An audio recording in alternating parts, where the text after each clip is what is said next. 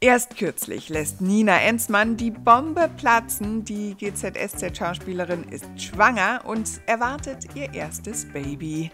Seit Sommer 2022 ist sie als Luxusgirl Jessica Reichelt in der Daily Soap zu sehen. Nun steht eine kleine Pause an aus dem süßesten aller Gründe. Bunte.de trifft Nina Enzmann bei der Verleihung des New Faces Awards in Berlin zum Interview. Ich fühle mich wirklich grandios. Ich fühle mich wirklich richtig gut. Ich habe wahnsinnig viel Glück, dass es mir von Anfang an richtig gut gegangen ist. Ich habe nicht diese unangenehmen Symptome oder, oder, oder Wehwehchen. Und ich weiß, dass es, weiß Gott, mehr als Wehwehchen sein können, was man da alles so mitbekommt. Das macht dann teilweise nicht so viel Spaß. Ähm, deswegen, also da habe ich sehr viel Glück, dass es mir fantastisch geht.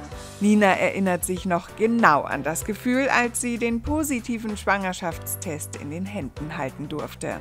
Wow. Okay, krass. Ähm, das, war, das war toll. Also im ersten Moment war wirklich nur so, wow.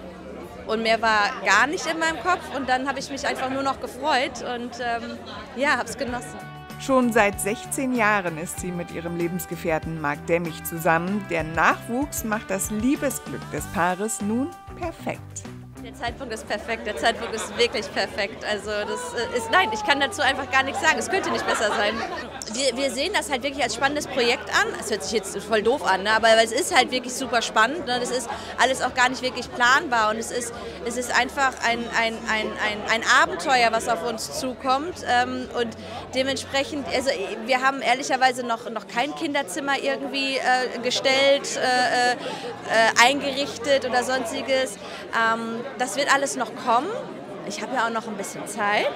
Und auch da möchte ich mich gar nicht stressen, sage ich ganz ehrlich. Ich möchte es einfach, ich möchte den Moment genießen, ich möchte das Hier und Jetzt genießen und da wird noch so viel Neues auf uns zukommen und ähm, ich gehe das Schritt für Schritt an und genieße dann auch einfach jeden Schritt und ähm, das wird, glaube ich, alles von selber kommen. Der Fokus liegt in den kommenden Monaten natürlich auf dem Baby, aber ihr Comeback bei GZSZ nach der Babypause hat Nina schon geplant.